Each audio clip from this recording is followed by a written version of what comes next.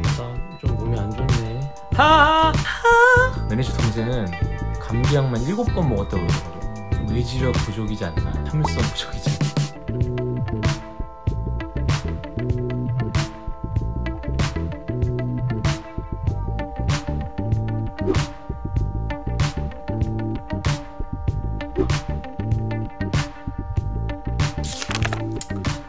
지금 현재 시간 4시 35분 1시간 반 잤네요 처음에 딱 누우니까 열이 그냥 몸살이 확 올라오더니 아프다 싶을 정도로 아, 이대로 계속하면 힘들 텐데 라는 생각을 했었는데 그 약기운이 어, 잘 드네요 금방 몸이 좋아지고 또 이러다가 약발이 또 끝나면 다시 아플 수도 있는데 목이 조금 잠긴다 해야 되나?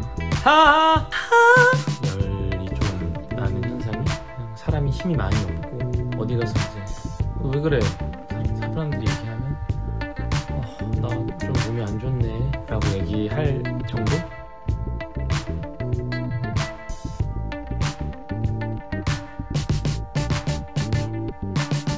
이 팔이 이쪽이 약간 뭐라 해야 되지? 욱신거리는 게 좀 심해가지고 이게 드는 게 좀 힘들더라고. 드는 게 좀 힘들고 그랬는데 뭐 걱정하긴 했지만 무사히 오늘 뮤지컬 공연도 잘 마쳤고 지금은 이제 열도 없고요. 몸살 기운 같은 것도 없고. 오늘 매니저 동생 같이 맞았거든요. 매니저 동생은 어제 감기약 감기약만 7번 먹었다고 그러더라고요. 좀 의지력 부족이지 않나. 참을성 부족이지 않나